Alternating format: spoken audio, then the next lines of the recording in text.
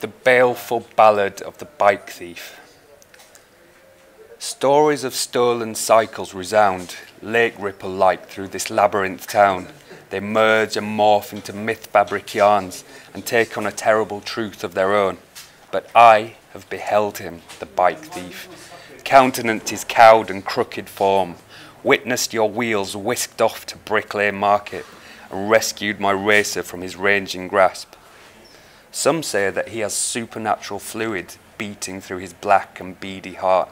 I heard he was reared by rats in a rusty scrapyard, and some say he is scarcely man at all.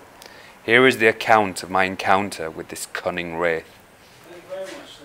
Solitary in the window seat I sat, eating jerk chicken, the gloaming dust glinting on glass as I counted cars on Old Kent Road. Locked to a lamppost at my left, I could see my beautiful bicycle bright in the half light. The jerk shop radio played reggae. A Rasta man came in to collect his curry goat, rice, and peas. The smoky scent of barbecue sweetened the air, and spice scorched my tongue as I savoured my meal. The tinny tones of transistor radio were eclipsed by a clatter and clamour outside. Approaching on the pavement and pulling a cart was a man, cap peak pulled low, tracksuit collar pushed high, face hidden fully except for dark, furtive eyes. As he came closer, I saw the contents of his cart, and the sight of it sickened my stomach. The trolley was piled with push bikes and packed with tools big, brutal bolt cutters, sharp, shiny, shimmering saws, and an angry looking angle grinder. His identity dawned on me with dread when the clunk of his cart came to a halt and he stood still staring at something, held an object helpless in his hard gaze. A shiver of shock shook my spine as he crouched and cradled my lock in his cracked palms.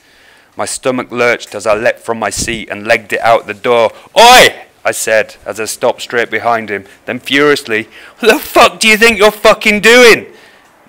Not one little look up from the lock in his hand. That's my bike, I bellowed to the back of his head. The bastard seemed oblivious to all but the lock. I shoved him on the shoulder and shunted him round.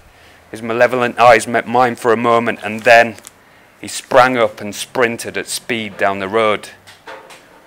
Bolting the barriers barring my path, darting dangerously through dense traffic, I clung to his tail but could not close the gap. Wiry and wild he was, like a sinuous sniper spiked with guile, the shape of his shadow shifting through the dark, twisting and turning, trying to shake me.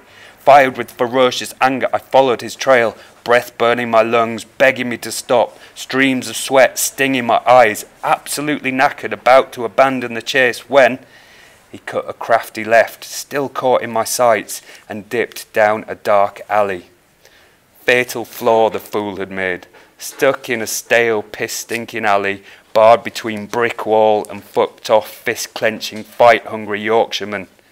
Cornered, he cowered by a bin and covered his head. Rage-ragged breath ripped through my chest, and livid, I launched myself in a lunge at his jaw. But my fist found only air where his face should have been, and my carpals crunched into the concrete wall. Confused in the clammy night air, I scanned around, but found nothing except on the floor of that fetid alley a black baseball cap. Like a wisp of white exhaust fume in the wind, he was gone.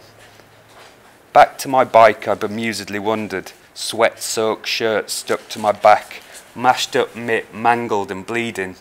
My bike was still safe outside the jerk shop, but the tea-leafing tool trolley was notable by its pointed lack of presence at the place of the crime.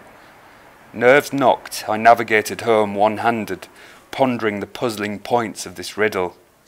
And from time to time I still catch a glimpse of a shadowy shape schlepping a cart, and each Sunday I see suspect-looking, dubious deals being done on market stalls, where bargain-hungry buyers beg no questions, and twisted traders tell no lies. Thus are the perils perpetuated of owning a pretty bike in London.